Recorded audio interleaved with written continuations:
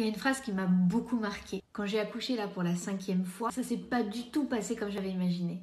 Moi, j'avais fait un projet de naissance où j'avais vu une sage-femme pour accoucher sans péridurale. J'avais fait toute ma préparation pour accoucher naturel. Bon, et au final, ça s'est pas passé du tout comme prévu. Ça a été beaucoup, beaucoup plus médicalisé que ce que, ce que je voulais.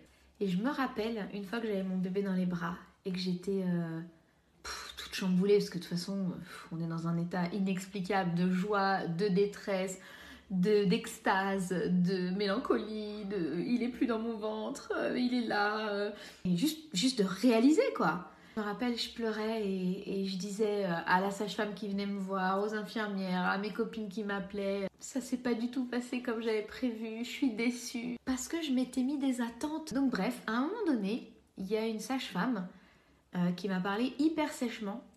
Comme j'ai réussi à bien le prendre, je suis reconnaissante. Elle m'a dit écoutez, à un moment donné, madame, vous n'allez pas vivre dans les regrets. Une naissance qui se passe bien, c'est une naissance où maman et bébé rentrent à la maison et les deux vont bien. C'est votre cas. Et franchement, c'était un peu dur. Je me suis dit peut-être qu'elle a raison. Peut-être qu'il faut arrêter avec nos regrets et se dire on est tous les deux là, on va bien. Rien n'est parfait, mais on avance.